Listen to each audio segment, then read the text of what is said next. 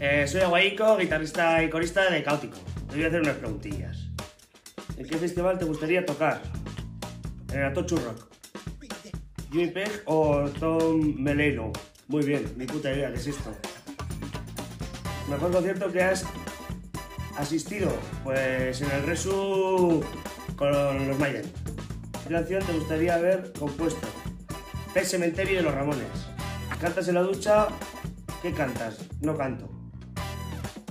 Gibson. Eh, Gibson, evidentemente. ¿Cuál fue la primera canción que aprendiste a tocar?